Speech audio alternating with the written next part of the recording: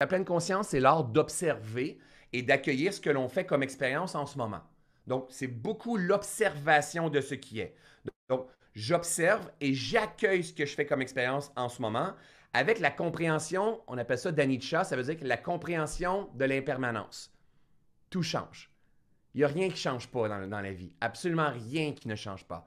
Donc, la pleine conscience, c'est l'art d'observer autant dans le monde intérieur que dans le monde extérieur, ce que je suis en train de faire comme expérience, donc à travers mes sens, et de l'accueillir, donc sans être en réaction, de l'accueillir sans jugement, donc sans jugement de bon ou mauvais, avec la compréhension que cela aussi changera. Il n'y a rien qui ne change pas. OK? Ça, c'est la pleine conscience. Moi, j'enseigne maintenant ce que, j'ai appelé, ce que j'ai développé, qui est la pleine conscience intégrative. Parce que la pleine conscience, c'est pas vrai d'être à l'observation de ce que l'on fait à travers nos sens. Ça, c'est la pleine présence.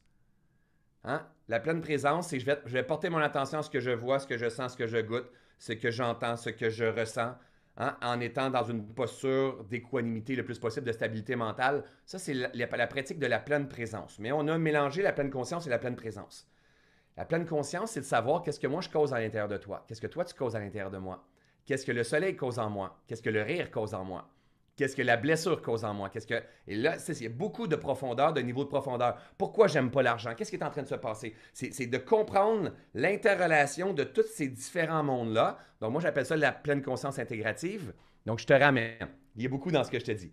La pleine conscience, c'est l'art d'observer, autant dans le monde interne qu'externe, ce que je fais comme expérience dans une posture de non-jugement en comprenant que cela aussi changera. La pleine conscience intégrative, c'est tout ça, mais en offrant la meilleure réponse adaptative à ce que je suis en train de vivre dans un but de guérison et de prospérité. Donc, c'est-à-dire que si je suis fatigué présentement, hein, toi et moi, on est aussi des entrepreneurs, on est des éveilleurs, on partage, ça arrive qu'on travaille beaucoup, notamment avec l'ordinateur. Si, exemple, je suis fatigué, je veux arriver à m'observer d'une façon juste pas me dire encore une fois, tu t'oublies, ça n'a pas de bon sens, tu répètes toujours les mêmes choses. Pas comme ça, parce que ça, c'est pas la façon juste. Ça, c'est le jugement. Je veux m'observer de façon juste en disant hum, voici la présence de la fatigue en moi, j'ai dépassé ma capacité adaptative et c'est OK. Cela aussi changera. Ça, c'est la pleine conscience. La pleine conscience intégrative, c'est quel est mon besoin maintenant? C'est-à-dire que je veux offrir la meilleure réponse adaptative dans un but de favoriser la guérison et la guérison, c'est la prospérité. La guérison et la prospérité, c'est la même chose. Et ça, ça fait à peine deux ans que j'ai compris ça. Plus tu guéris l'espace, plus tu prospères. Mais en fait, on n'a rien à forcer. On a à comprendre la vitalité en nous.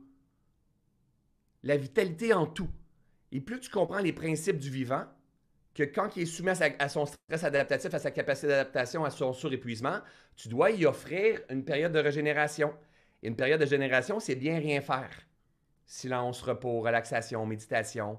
Hein? Juste, tu rien à faire. c'est comme si tu laissais les clés au bon Dieu de te, régénérer.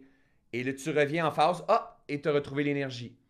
Ça, c'est la pleine conscience intégrative. C'est d'arriver à offrir la bonne réponse dans une relation, par rapport à l'argent, par rapport à un challenge, par rapport à un burn-out, par rapport à la fatigue, ça, c'est la pleine conscience intégrative. Alors, c'est un art de vivre, mais qui s'apprend en répétant, répétant, répétant.